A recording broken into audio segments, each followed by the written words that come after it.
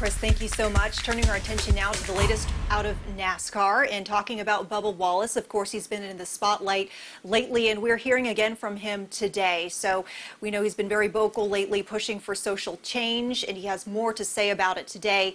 Here's sports reporter Ashley Stroehlein with more of his chat with Media Today.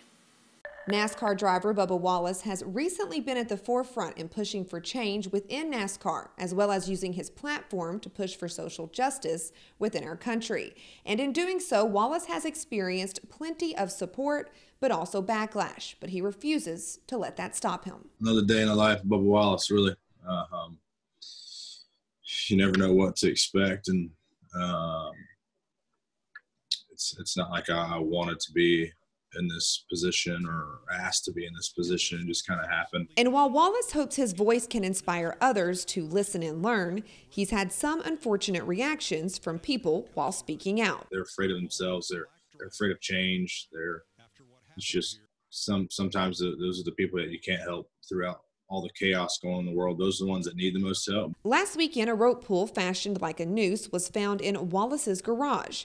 And while the FBI concluded it was not a hate crime directed towards Wallace, NASCAR released this photo showing it had been there since October of 2019. We weren't in that garage stall at that time, so we can't say it was directed towards me, which is good. It wasn't directed towards me or my family.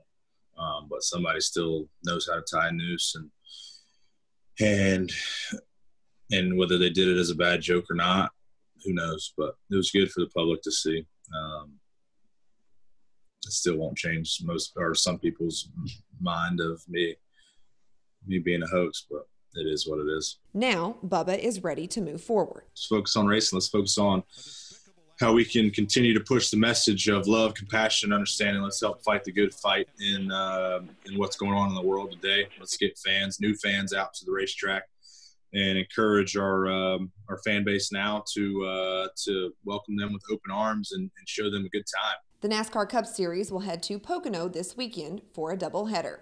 In Uptown, Ashley Stroehlein for WCNC Charlotte.